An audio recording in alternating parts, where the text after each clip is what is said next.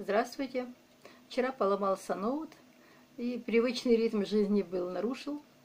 Образовалась некая пустота. И вот я достала с полки книгу, которая уже два месяца там лежит, взятая когда-то при случае в библиотеке, которой не доходили руки, что называется. Книга называется «Продавец грез», автор Августа Кури. Бразилец, перевод с португальского – ну вот даже никогда не думала, что художественная книга может меня так заинтересовать. Не могла вчера долго э, лечь спать, хотелось побольше прочитать. И вот сегодня утром дочитала книгу и полна впечатлений. Хочу поделиться, э, что какие интересные, оказывается, есть современные книги, авторы и идеи. В книге, о чем книга? Ну, трудно сказать о чем, потому что обо всем, о жизни – о любви, о равенстве, о свободе. В книге описаны все прелести нынешнего потребительского общества, показана их, их гнилость.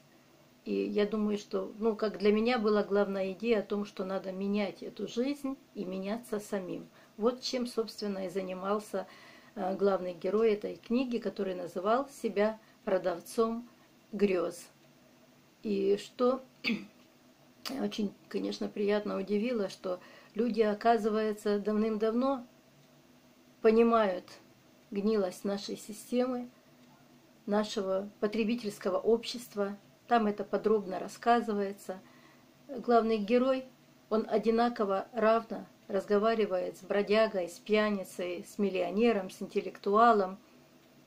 И, в общем-то, показывает им, что все они просто люди, люди – обыкновенные в первую очередь, а люди очень часто об этом забывают. Они себя мнят там какими-то лицами важными, особенными, и просто теряются в этом, забывают, что они просто люди.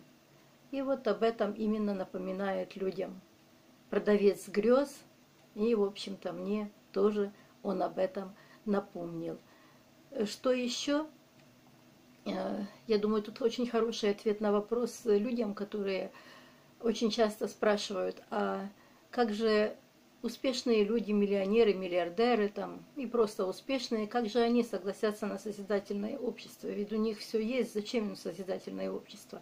И вот одна из глав в конце книги как раз очень хорошо описывает вот э, состояние этих людей, которые торопятся мчаться в погоне за наживой, за статусом, и не, они, у них нет ни одного мгновения в жизни, чтобы расслабиться и подумать о себе и о самых близких людях. И я думаю, там прекрасный как раз ответ на, на этот вопрос. И понимание, что эти люди, когда разберутся, они, может быть, в первую очередь будут строителями созидательного общества, потому что оно может быть им именно Э, необходимо более чем другим. В общем, радует, что люди со всей планеты думают о том, как изменить к лучшему наш мир.